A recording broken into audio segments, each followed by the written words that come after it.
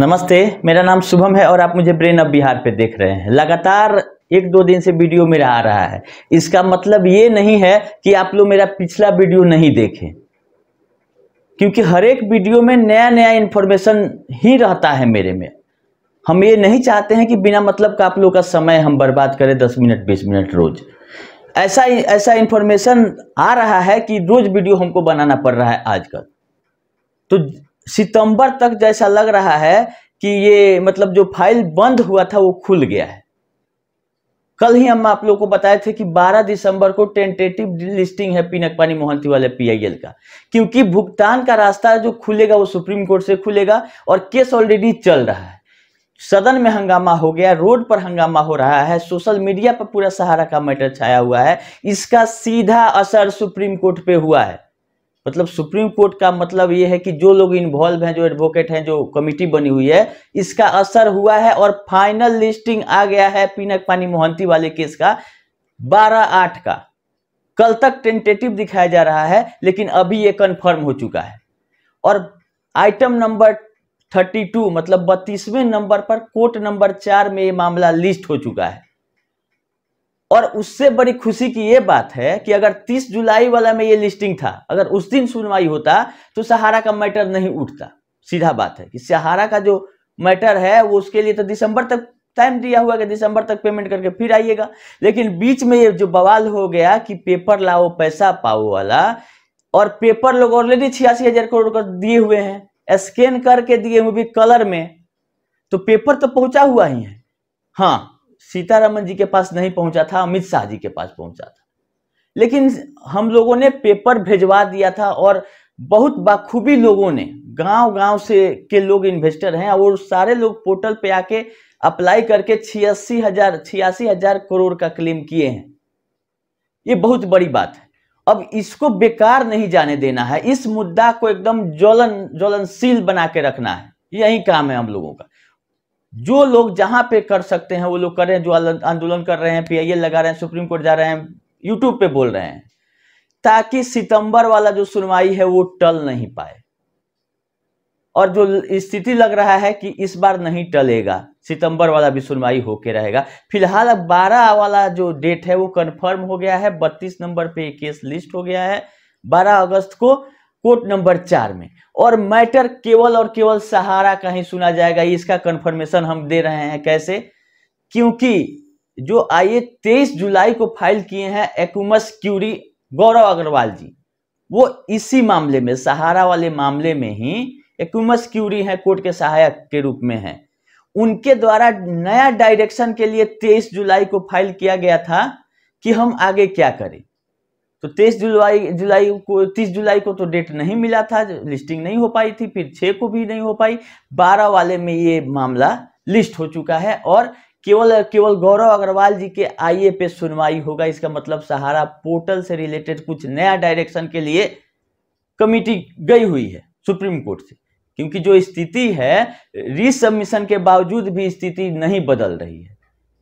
एक परसेंट लोगों का भी भुगतान नहीं हो पाना ये सिद्ध करता है कि जो सिस्टम है वेरिफिकेशन का, ये फेल्योर है। इसके लिए कोई तीसरा रास्ता अपनाना चाहिए। जो पोर्टल पे लोग अप्लाई कर दिए हैं, उनका वेरिफिकेशन का कोई और तरीका अपनाए। अब सुप्रीम कोर्ट में ही मामला है। बहुत विद्वान विद्वान लोग हैं इस कमिटी में और जो भी दिशा निर्देश आए ताकि लोग का पैसा रिलीज़ हो पाए। यहाँ तो सरकार बोल रही है कि पैसा मेरे पास लेने वाला लोग नहीं है। और यहाँ है कि पैसा छियासी हज़ार करोड़ लोग प्रिंसिपल प्लस उसका एक लाख करोड़ इंटरेस्ट अढ़ाई लाख करोड़ तक का डिमांड जा चुका है सरकार के पास जिसका अभी पेपर चेक कर रही है। और मात्र दस हज़ार जिसका कोई औचित्य नहीं है कि दस हज़ार से आप शुरू करें। ना लिक्विडेशन ना लिक्विडेशन हो रहा है कंपनी का ना कहीं से कुछ आदेश आया है न, सहारा बोल रही है कि हमारे पास संपत्ति नहीं है कि हम नहीं दे सकते हैं। सहारा तो अभी भी प्रॉफिट में डिक्लेयर कर रही है जो मेरे पास फाइनेंशियल आया है। तो आप दस हज़ार बीस हज़ार देने का निर्णय कैसे कर सकते हैं? जब सहारा बोल रही है कि सफिशियंट है, मेरे पास हम बेच के ला देंगे तो आप पहले जो पैसा है उसको खत्म कर दीजिए, फिर सहारा से डिमांड करेंगे हम लोग। दस हज़ार वाला क्राइटेरिया तुरंत हटना चाहिए और एक परसेंटेज में जिसका जिस रेशियो में जमा है, उस रेशियो में भुगतान होना चाहिए। डबल मेंबरशिप कोई बड़ा इशू नहीं है कि चार गो मेंबरशिप आप क्यों लिए हुए हैं तो सहारा ने दिया तो लिए हुए हैं तो कोई क्राइम है नहीं। अगर हो ही गया है तो इसको मेटरलाइज करना है कि खत्म कैसे होगा। आईटीआर का कॉपी मांगना, इसके लिए इनकम टैक्स सहारा को पकड़े हुए कि बिना आईटीआर का आपने जमा किया फाइन पेनाल्टी लगाया। आज लेनदार तो बोल रहा है कि हमारा अगर सौ बॉन्ड है, सौ मेंबरशिप है तो हम ही हैं। हमको आप दीजिए और मेरे इनकम टैक्स पैन पे चढ़ा दीजिए। उसका आईटीआर का इनकम टैक्स रिटर्न हम भरेंगे इनकम टैक्स की लाइबिलिटी आएगी तो हम जमा करेंगे। टीडीएस आप काट ही सकते हैं अगर ब्याज दीजिएगा तो। तो ब्याज देने का तो बात हो नहीं रहा है। बहुत ऐसा ऐसा इशू खड़ा किया गया है जो पोर्टल के द्वारा डिफिशियंसी के रूप में, जिसको खत्म किया जा सकता है माननीय सुप्रीम कोर्ट के गाइडलाइन में। आज उनके समक्ष रख के कि ये दिक्कत आ रही सहारा डाटा नहीं दे रही है तो सहारा को कब तक बीच में सहारा से इंतज़ार कीजिएगा? पैसा आपके पास है, जमा करता आप तक पहुँच चुके हैं, पैसा दे के खत्म करिए, दो मिनट में सहारा का डाटा सारा आ जाएगा। आप सहारा को तीस दिन का जो समय दिया गया है कि पोर्टल पर अगर जो सहारा नहीं वेरीफाई कर पा रही है मेंबरशिप फॉर्म नहीं जमा अपलोड की तो जो आ गया पेपर उसको सही मान लिया जाएगा। आप आदेश ऐसा दीजिए दस दिन के अंदर सहारा का मेंबरशिप और सारा कुछ आपके पास आ जाएगा। खाली सुप्रीम कोर्ट को ये दिशा निर्देश देने की ज़रूरत है कि अगर तीस दिन में सहारा ने अपना डाटा अपलोड नहीं किया तो जो पोर्टल पे आ चुका है, उसको सही मानते हुए उनके प्रिंसिपल का भुगतान किया जा सकता है। क्योंकि बॉन्ड जब स्कैन करके दिया जा रहा है तो और आपको क्या प्रूफ चाहिए? और बॉन्ड हाथ से लिखा हुआ नहीं कंप्यूटर से छपा हुआ है, वो भी सहारा के सॉफ्टवेयर से। हम मेच्योरिटी 2023 के बाद पूजेगा पूरेगा। तो प्रिंसिपल तो लेने का हकदार वो कभी भी है। मेच्योरिटी से आपको क्या मतलब है? कि तेईस वाला का तो रास्ता आप निकालिए या सहारा पे कार्रवाई करिए कि तेईस के बाद वाला के लिए वो ऑफ़िस खोल के करे। जो भी करना हो, इसमें जल्द ज़रूरत थी और वही होने जा रहा है। 12 अगस्त को सहारा वाला मामले की सुनवाई होगी या कुछ नया डायरेक्शन पोर्टल से रिलेटेड आ सकता है। यही बड़ी न्यूज़ थी तो हमने सोचा कि आज भी आपको अपडेट कर देते हैं, वीडियो को लंबा नहीं करते हैं और तुरंत तुरंत जैसे अपडेट आएगा हम लोग बताते रहेंगे आपको।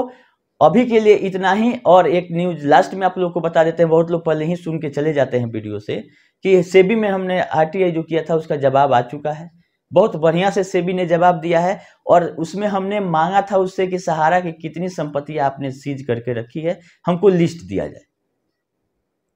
तो हर एक शहर वाइज टोटल कितना एकड़ ज़मीन है, कितना उसका वैल्यूएशन तेरह में हुआ था, विस्तृत हमको भेज दिया है सेबी ने, जिसका हम ज़िक्र अगले वीडियो में करेंगे। इस वीडियो में नहीं करेंगे। हम धन्यवाद देंगे सेबी का कि उन्होंने मेरे आर का जवाब दिया। और धन्यवाद है तेलंगाना हाईकोर्ट का, जिसमें स्टार वाला भी केस मेरे आरटीआई करने के बाद लिस्ट हो गया, ये हम क्रेडिट नहीं ले रहे हैं कि हम ही करा दिए। हो सकता है कि सिस्टमेटिक लिस्टिंग हुआ हो, लेकिन आरटीआई का जवाब क्यों नहीं आया तीस दिन में हाई कोर्ट से?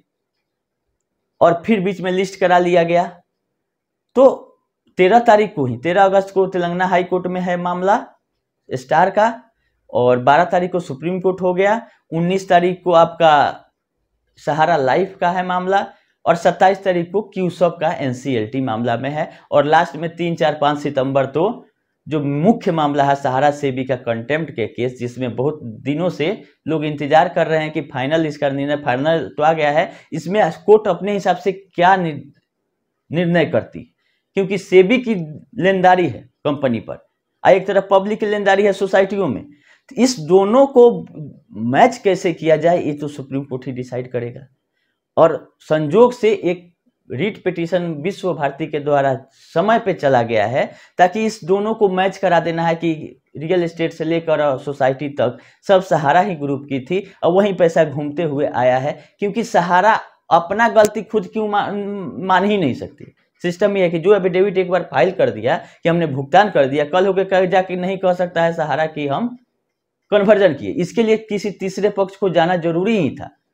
क्योंकि जहाँ है, ये बोलेगी सहारा कि हमने कन्वर्ट कर दिया था तो उसका पिछला जो एफिडेविट लगा होगा कि हमने भुगतान कर दिया, वो गलत हो जाएगा, उसमें चार सौ बीसी में एक मिनट में अंदर चले जाएँगे सारे लोग। इसीलिए सहारा अपना गलती कभी एक्सेप्ट कर ही नहीं सकती है कोर्ट में कि हमने भुगतान के बदले में कन्वर्जन किया था। तो बीच में तीसरे आदमी को को आना ज़रूरी था, जो कि विश्व भारती की तरफ़ से एक रीट लगाया गया है, उसमें हमको उम्मीद है कि जो मेन प्रॉब्लम है, जहाँ तक नहीं पहुँच पाया है अभी तक कोर्ट या निष्कर्ष पे कि रियल एस्टेट से सोसाइटियों का भुगतान कैसे हो? नहीं तो सारा पैसा जो जमा है, वो चला जाएगा रिकवरी में सेबी के, इनकम टैक्स के, जीएसटी के। तो ज़रूरत इस बात की है कि पहले जो पैसा पड़ा हुआ है, वो लोगों तक पहुँच जाए। खैर, सेबी वाला जो आरटीआई में जवाब आया अगले वीडियो में बताते हैं। अभी के लिए इतना ही। बने रहें आप लोग। धन्यवाद।